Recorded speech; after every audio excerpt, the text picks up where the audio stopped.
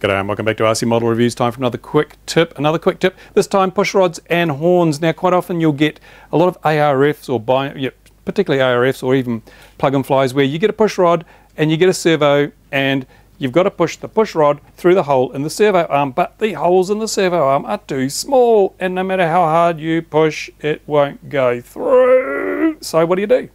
Um, if you have a drill this size of course you could drill it but not everyone has a drill uh, the right size for the wire. And even then I've noticed with nylon, especially if you drill it, it will close up again actually.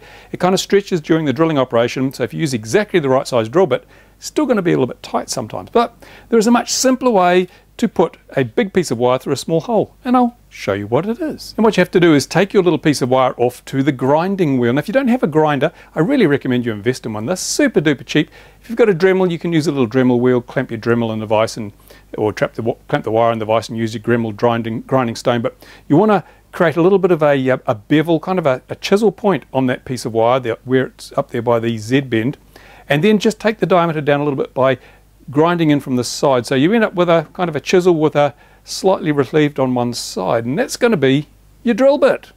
So let's take it back to the bench and see what it looks like. So here we are fresh back from the grinding wheel. And as you can see, I've got a kind of a chisel point looking from that end there and if you look from here you can see the top end of that is ground down a little so it's, it's like a three-sided point but uh, now what we can do if I can do this without going all out of shot is we can take our control horn like so and we can choose the hole we want to put it in and we just give it a bit of a spin around see it's a Z bend so you can spin it around like this let me just try and do this in the wall and shot here we go da-dum da-dum da-dum so you're basically drilling your way through with this improvised little drill you've made. You can see the little bits of plastic coming out there.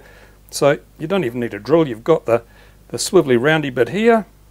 And eventually, with a little bit of sweat, you can see that's gone in there. Then you can just basically wiggle it through and voila, there you go. Look at that. So there you go, and you see there's a little bit of swarf there from, a, from the drilling operation, but this is a really nice tight fit. There's no slop in there. Perfect fit for the size of the wire. And didn't even need a drill, did you? So that's another tip. Simple, quick tip from RC Model Reviews. I hope you find that useful. Um, put a comment if you like it.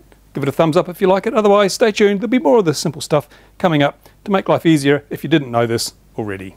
Thanks for watching. Bye for now.